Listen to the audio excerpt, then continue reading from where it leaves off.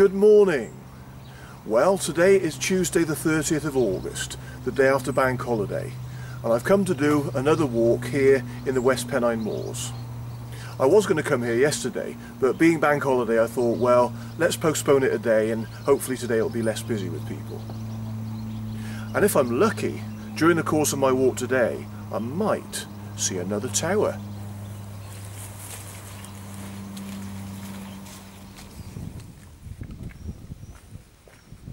My walk started as I took a footpath leading off Tockholes Road. Turning right on the edge of woodland, I followed a footpath directing me along the woods and water trail. My way descended steadily through Tockholes Plantation.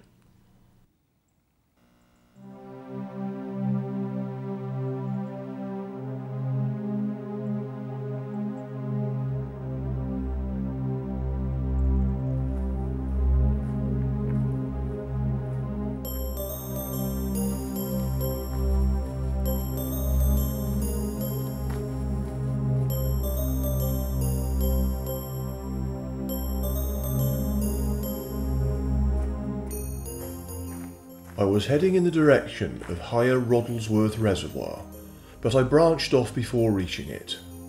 However, I could briefly glimpse the reservoir through the trees as my path climbed up again.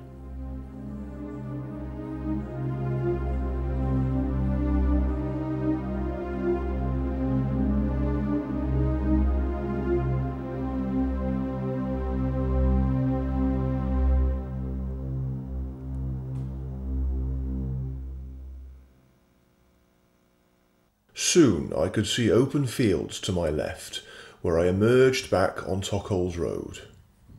Crossing over, I took a walled track that forms part of the Witton Weavers Way. Now, I said at the start of this walk that I might get to see another tower today. Well, I do have a sneaky suspicion that I might be looking at one now.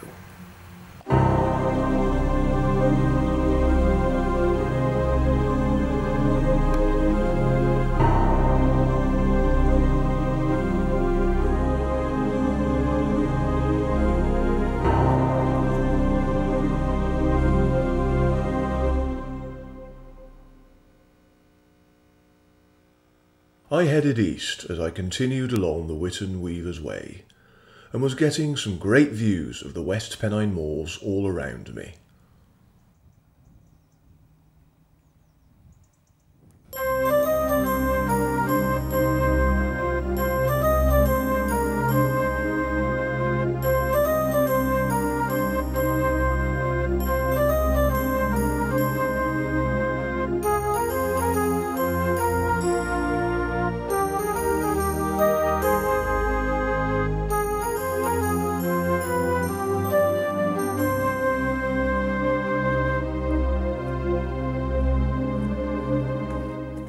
The path soon descended steeply with a section of old paving.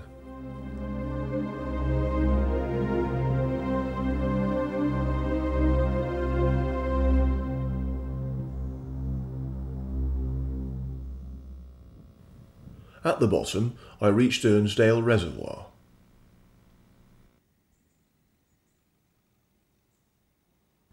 Earnsdale Reservoir was constructed in 1854 to supply water to the town of Darwen.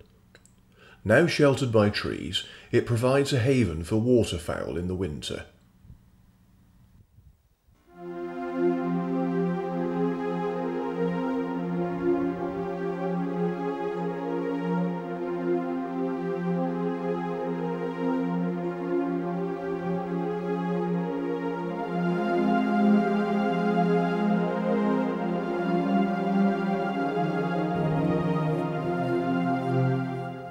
I slowly crossed the dam, admiring the reservoir and the beautiful scenery surrounding it.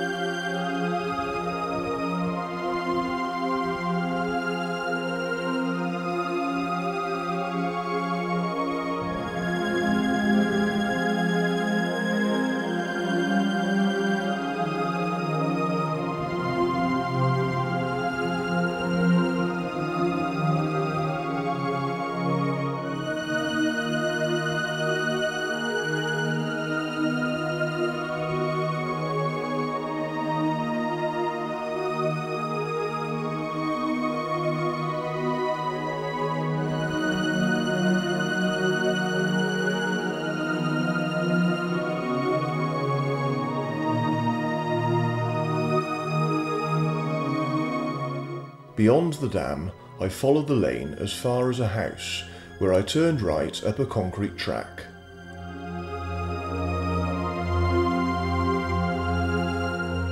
I was beginning to get views over Darwen at this point.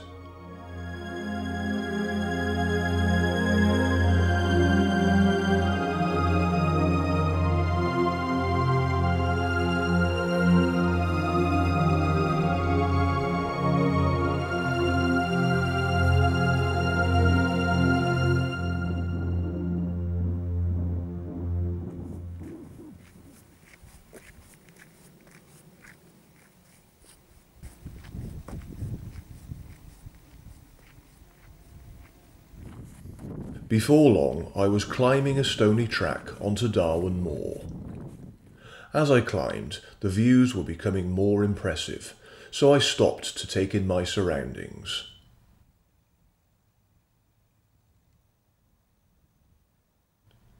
By this time, I had a good clear view of Darwen, dominated by the India Mill chimney. India Mill dates from the 1860s the chimney is 302 feet high, and its style is Italianate rather than Indian, as the name suggests. The mill closed in 1991, but now houses new light industry and office space.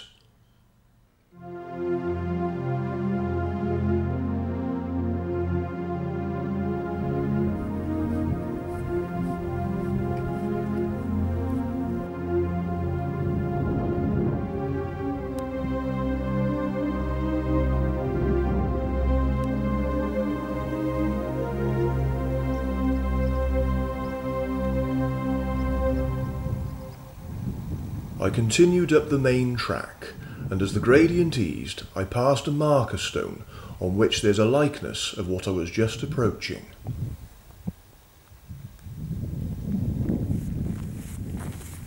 Well, here I am finally at the Jubilee Tower.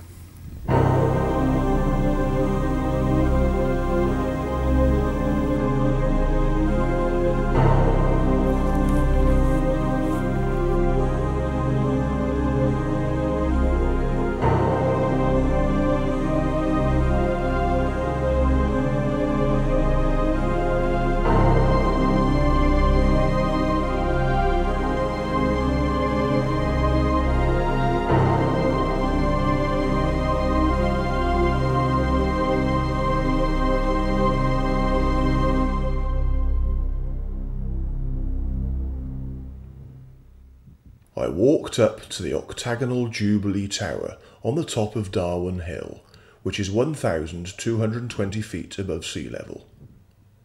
Generally known as Darwen Tower, it was completed in 1898 to commemorate Queen Victoria's Diamond Jubilee, and also to celebrate the victory of the local people for the right to access Darwen Moor. The tower is 85 feet high and was opened to the public on the 24th of September 1898.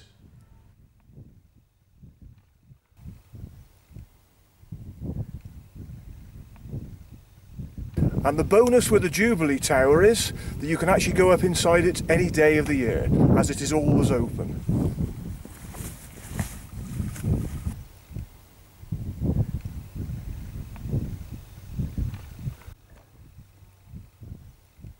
Visitors can climb to the top of the tower via the internal staircase to admire the views of North Yorkshire, Morecambe Bay, Blackpool Tower, Cumbria, the Isle of Man, North Wales, Derbyshire, elsewhere in Lancashire and surrounding moorland. Admission to the tower is free of charge.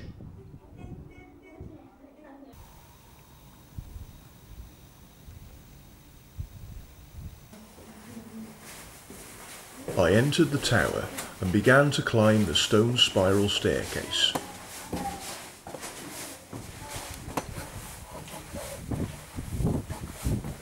Very soon I came to the circular viewing platform on the way up.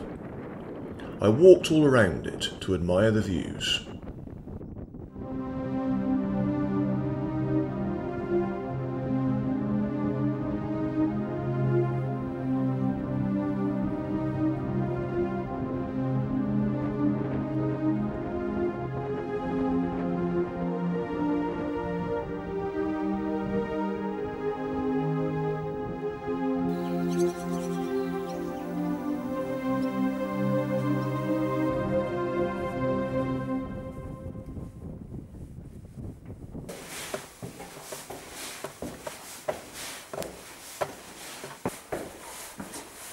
I continued up the stone spiral staircase, which was followed by a smaller iron staircase leading to the very top.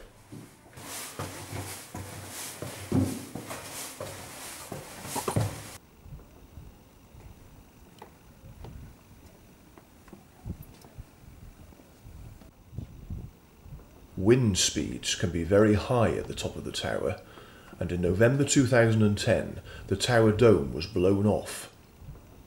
A replacement dome, which was made by the WEC Group of Darwen at a cost of over £35,000, was winched into place by helicopter in January 2012. There is often mist below, which will obscure the surrounding views. However, my views today were clear and wonderful.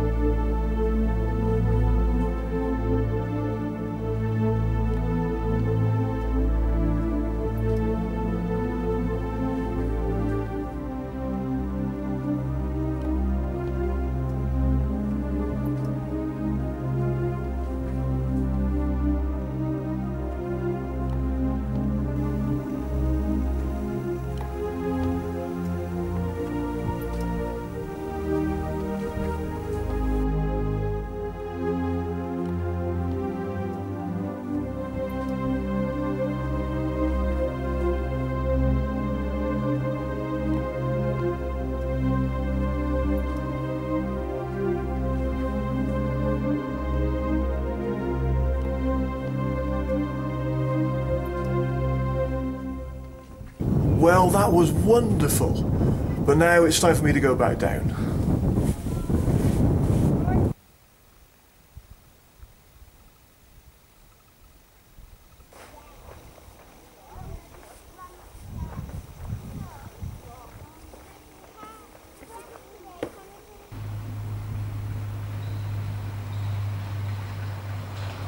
I discovered this walk to Jubilee Tower during my research for the last two walks I did on the West Pennine Moors. But one or two people have also mentioned this walk to me as well.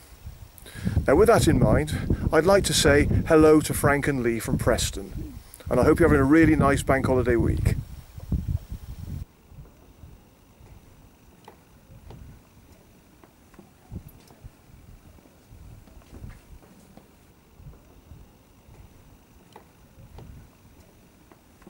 It had been absolutely wonderful exploring the Jubilee Tower, but sadly it was time to move on, so I took a path heading southwest across Darwen Moor.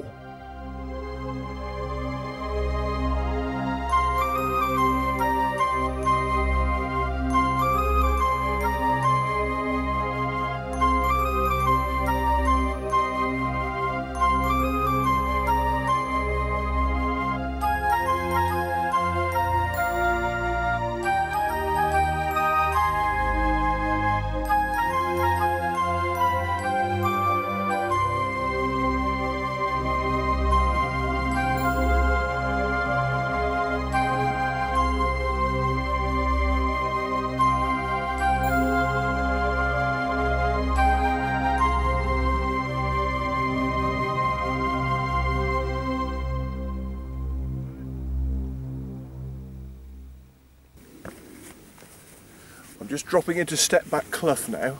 So from there, I'll take a track that goes through the woods and that takes me back onto the lane by the car park at the visitor centre where I started my walk this morning.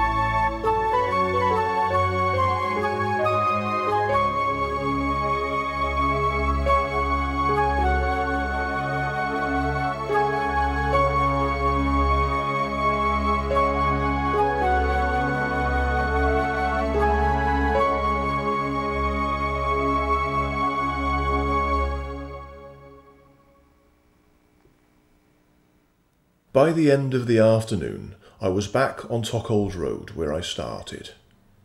Here I decided to relax and enjoy a quick half inside the Royal Arms, a wonderful little inn with plenty of character.